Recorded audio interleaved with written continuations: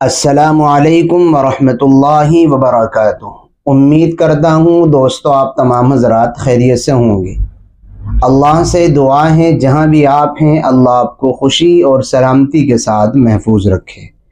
दोस्तों, आज आप हजरात की खिदमत में ख्वाब में मछली खाना या मछली देखना या मछली पकड़ना कैसा होता है, चंद ऐसे ही ख्वाबों की ताबीर पेश करने जा रहा हूँ। चुनाचे पहला ख्वाब है, ख्वाब में मछली खाना कैसा होता है?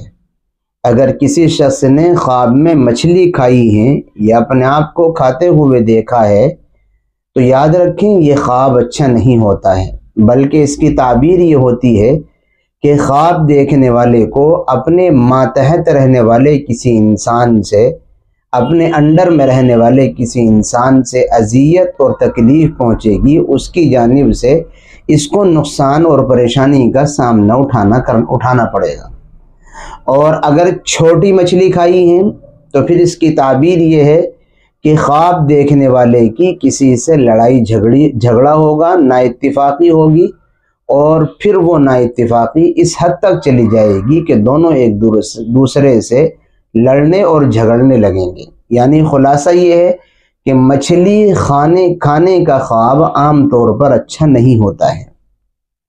दूसरा ख्वाब है, ख्वाब में मछली देखना। अगर कोई शख्स मछली सिर्फ़ देखे, खाई नहीं है उसने ख्वाब में तो फिर इसकी ताबीर ये है कि अगर थोड़ी सी मामूली सी मछली खाई है ख्वाब में, मछली देखी है ख्वाब में, ख्वाब देखने वाले ने तो फिर इसकी ताबीर ये है कि ख्वाब देखने वाले के यहाँ बेटी पैदा होगी।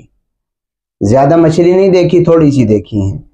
और अगर ये ख्वाब देखने वाला गैर शादीशुदा है, जिसके यहाँ बेटी पैदा होने का, बच्चा पैदा होने का ज़ाहिरी सबब बीवी है ही नहीं तो फिर इसकी ताबीर ये है कि इस ख्वाब देखने वाले को थोड़ा सा मामूली सा माली फ़ायदा हासिल होगा। और अगर मछलियाँ बहुत ज़्यादा देखी हैं, थोड़ी नहीं, बहुत ज़्यादा तादाद में देखी हैं तो फिर इस ख्वाब देखने वाले को कसरत के साथ माली फ़ायदा हासिल होगा। यानी माली गुंजाइश और माली वसात से अल्लाह ताला की जानब से इसको खूब नवाजा जाएगा। तीसरा, ख्वाब है मछली बेचना। किसी शख्स ने देखा कि वो ख्वाब में मछली बेच रहा है तो याद रखें कि मछली बेचने का ख्वाब अच्छा होता है और इसकी ताबीर ये होती है कि ख्वाब देखने वाले और उसके घर वालों को अल्लाह की जानब से कोई खैर और भलाई पहुँचेगी। अल्लाह की जानब से इनके लिए खैर और भलाई के फ़ैसले होंगे। चौथा ख्वाब है मछली पकड़ना। किसी शख्स ने ख्वाब में अपने आप को मछली पकड़ते हुए देखा है तो इसकी ताबीर यह है कि ख्वाब देखने वाले को अल्लाह की जानब से ऐसी जगह से नेमतों से नवाजा जाएगा, जहाँ से उसको कुछ मिलने और हासिल होने की उम्मीद भी नहीं होगी। अल्लाह की जानब से माली फ़वाद और दुनियावी फ़ायदे उसको ऐसी जगह से हासिल होंगे, जहाँ से वो तो भी नहीं करेगा कि मुझे यहाँ से कुछ फ़ायदा हो सकता है। यानी ये मछली पकड़ने का ख्वाब भी अच्छा है। पाँचवा ख्वाब है, डरावनी और खौफनाक मछली देखना। किसी शख्स ने ख्वाब में डरावनी खौफनाक शक्ल व शबाहत की मछली ख्वाब में देखी है। तो याद रखें कि जितनी इसकी ताबीर ये है कि जितनी खौफनाक और डरावनी मछली देखी है ख्वाब में, उतनी ही बड़ी अचानक आने वाली किसी मुसीबत और परेशानी का ये ख्वाब देखने वाला शिकार होगा। यानी उतनी ही बड़ी इस ख्वाब देखने वाले पर अचानक कोई मुसीबत और परेशानी आएगी।